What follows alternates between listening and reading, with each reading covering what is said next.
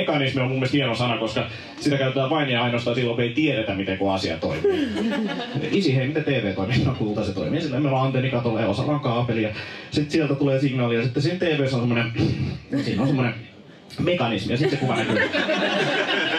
Isi, hei, missä on nuorisosäätiön rahat? No kulta, siinä oli semmoinen, siinä oli semmoinen keskustamekanismi. Hei, una